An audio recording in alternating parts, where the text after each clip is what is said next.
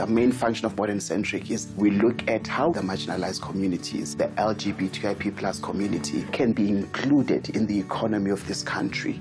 As a business owner, it's very important to understand your finances. I did participate on the Experian webinar on how to become financially fit. I know exactly how to project and to forecast, to budget properly. Our culture as a company, it's vibey. We've got a meditation room where you can zone out for 20 minutes. And since we've been doing this, our productivity has actually gone up. Winning the NSBC National Entrepreneur Champion has really opened up a lot of doors for me.